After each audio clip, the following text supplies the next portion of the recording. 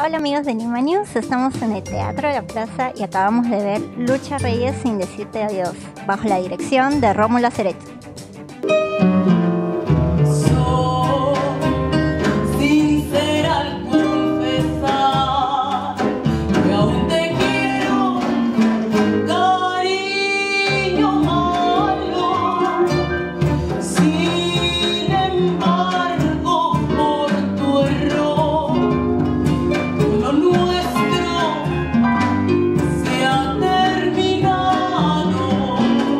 Reyes sin decirte adiós de Eduardo Adriansen. Es una obra que nos cuenta un poco, un poco la vida de Lucha Reyes y, y en general en esta alucinada que se ha metido Eduardo se vienen apareciendo a la peña hombres de su vida que la han marcado a ella. Y hombres que han influido de manera buena o de manera negativa en el camino de ella en, lograr convertirse este ícono de la música criolla que es en la actualidad siento que el mensaje se logra transmitir y, se muestra que lo que se está viendo acá no es bueno. Así que en ese aspecto me siento afortunado. Y me siento afortunado de también compartir escenario con Anaí Padilla porque es una actriz muy muy dedicada que te imaginarás para llegar a lo que hemos llegado ahora han sido largos procesos de ensayo, de repetir, repetir, repetir, bullying, bullying, palo, palo. Sin embargo, ella siempre ha estado muy dispuesta al trabajo y eso a uno le da la confianza, ¿no? Y para seguir también, para dar, para dar ese rebote, ¿no? Con la misma intensidad. Igual me llevó. Eso es mentira, Lucha. Yo te quería. Tenía 16 años, Henry. Claro. Y yo pensaba, la han educado las monjitas. No será bonita, pero al menos será obediente. ¿Por qué me escondías el cinturón? No. No, no, no, no me pegues. ¿Dónde está mi cinturón? No, no me lo voy a... ¿Ah?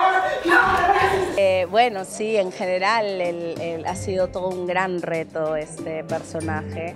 Eh, tengo una preparación hace seis meses. Eh, los grandes retos ha sido cantar. Yo no soy cantante, así que hace seis meses me he venido preparando vocalmente y también físicamente porque he tenido un poco que mudar de cuerpo y he bajado 15 kilos para poder interpretar a Lucha.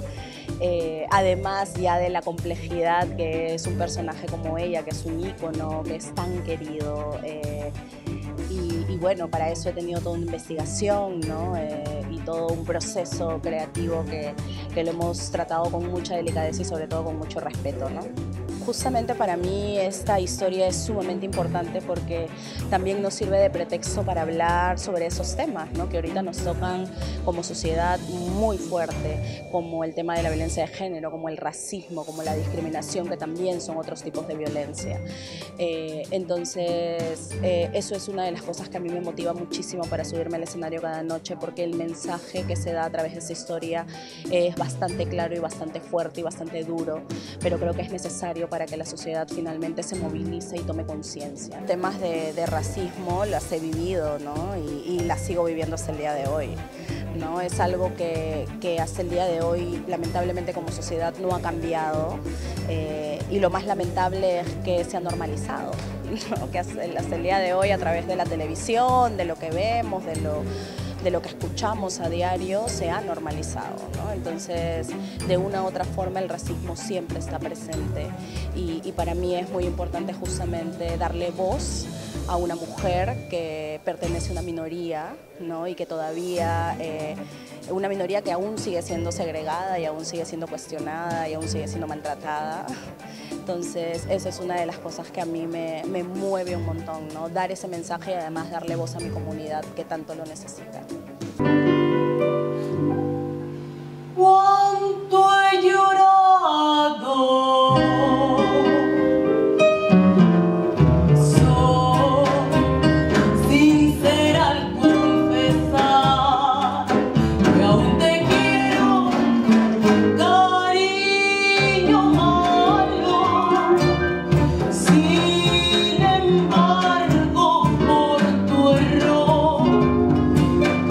Bueno, este, este, es un personaje que está inspirado en, no es una imitación es una copia. Entonces yo traté de inspirarme simplemente, tomar algunos detalles. Eh, pero sobre todo, eh, Rómulo al buscarme, yo creo que trató de buscar no una imitación de un personaje real, sino eh, de lo que significaba, ¿no? la fuerza que podía darle, darle yo tal vez como, como actor. Y eso es lo que he intentado, eso es lo que he intentado, ¿no? hacer un personaje creíble, con verdad, con peso, ¿no? es un personaje machista, racista, eh, muy difícil, me ha costado muchísimo, es una persona que creo que más me ha costado hacer hasta ahora, pero contento porque creo que es un reto. Yo creo de que Rómulo ha hecho y Eduardo Derencén han hecho una muy buena filigrana, ¿no? de un buen tejido de colocar las canciones en los precisos momentos, ¿no? Momentos en donde tú no puedes imaginártelo, hay una canción, pues, ¿no? Por ejemplo, cuando Lucha se encuentra con su padre, canta Regresa. Entonces, este, obviamente cuando se creó Regresa no se, no se hizo en ese contexto, pero cada canción está muy bien colocada en la obra. Tengo un libreto que tengo que seguir, como en la peña. Eso crees, ¿no? Siempre hay un libreto, aunque no te lo sepas.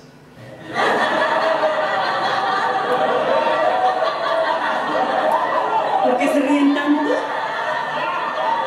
Ah, ¿no será que se me ha movido la peluca? Bueno, a ver, ¿dónde hay un espejo? A ver.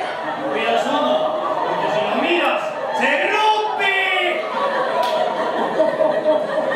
Vengan al teatro, a la plaza, a ver Lucha Reyes sin decirte adiós, escrita por Eduardo Adriancén y bajo la dirección de Rómulo Acereto. Estamos aquí de jueves a martes a las 8 de la noche y los domingos a las 7. Las entradas en Teleticket y en boletería del teatro. Los esperamos.